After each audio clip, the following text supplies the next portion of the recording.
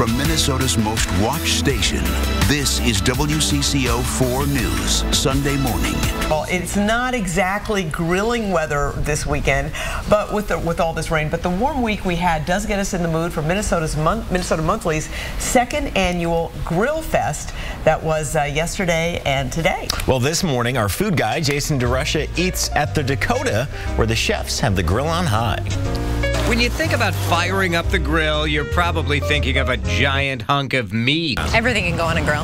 Derik Moran and Kristin Tyborski want you to think about lettuce. I primarily cook vegetables on the grill. Kristin and Derik are the executive chefs at the Dakota in downtown Minneapolis. At the restaurant, they're normally grilling inside. We love to grill.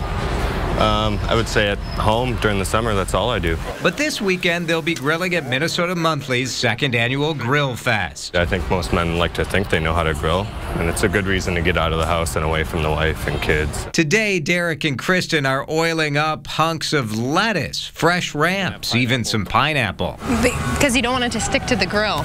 Basically, also it adds great flavor. We're using extra virgin olive oil.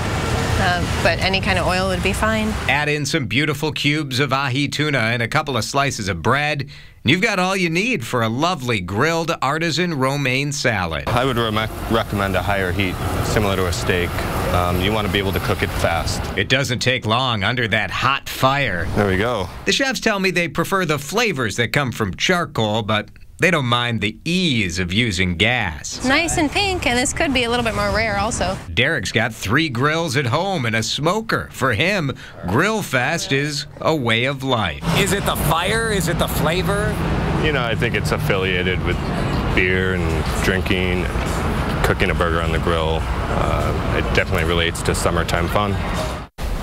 Well, here's the good news. Grillfest goes on rain or shine. It's today from 1 to 5 at the Depot in Minneapolis. You get food, beer, and wine samples uh, with your ticket, which is 35 bucks at the door.